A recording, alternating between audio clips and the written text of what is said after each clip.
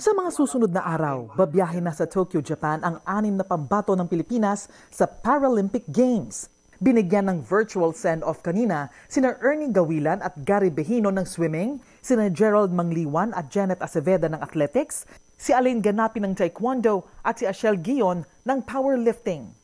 Baon nila, hindi lang ang matagal at mahirap na preparasyon, kung hindi ang magagandang halimbawa ng mga atletang Pilipino sa nakalipas na Tokyo Olympics, lalo na ang gold medalist na si Heidelin Diaz. Sobra pong binigay niya na ano, inspiration sa akin. Ah, sobrang proud po ako sa sarili ko. Sa puso ko, talagang sobrang saya ko. Nakaabot ako dito. Everybody calls me Lola. Nakaabot na ang Lola hanggang sa Paralympics. Sa akin personally, Still there? hindi naman pressure eh. Kumbaga talagang ah, na nadagdagan yung moral din namin. Yung pagpunta namin doon, tatapusin namin ng maganda. determination lang po talaga ang kailangan ng isang tao para maabot yung gusto niyang maabot sa buhay. Kung masasayang na sakripisyo, po, enjoyin ko po yung game.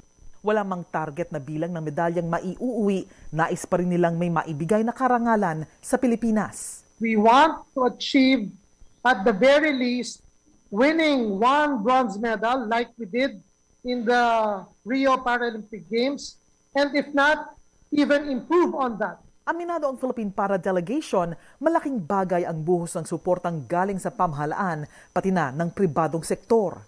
Hopefully, be able to inspire our people as our Olympians have. It's a hard act to follow. And I hope that our athletes uh, are able to bring home medals as well and inspire people. Sa linggo na aalis ang anim na atleta kasama ang kanilang coach at support team.